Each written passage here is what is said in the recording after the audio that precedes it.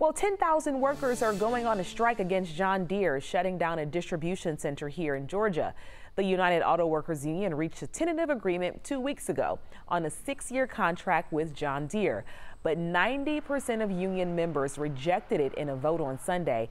They were unable to reach a new deal overnight. The strike will shut down 11 factories and three distribution centers around the country.